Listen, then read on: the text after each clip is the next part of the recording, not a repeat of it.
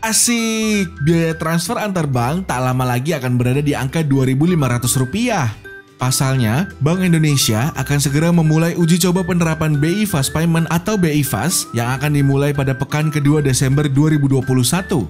BI Fast sendiri merupakan bagian dari penerapan blueprint sistem pembayaran Indonesia 2021 yang menyediakan infrastruktur sistem pembayaran retail yang lebih cepat, mudah, ekonomis, serta dapat dilakukan secara waktu nyata dan 24 jam.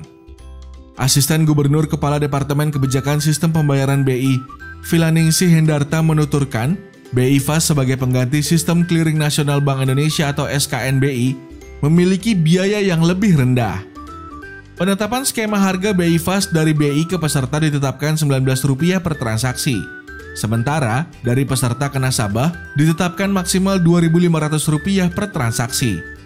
Nilai ini lebih murah dibandingkan dengan tarif SKNBI yang dipatok maksimum Rp2.900 per transaksi. Sejauh ini, BI telah menetapkan 22 calon peserta BI Fast tahap pertama pada pekan kedua Desember dan 22 calon peserta tahap kedua pada Januari 2022. Hmm, bagaimana menurut sobat bisnis? Apakah Rp2.500 sudah cukup murah?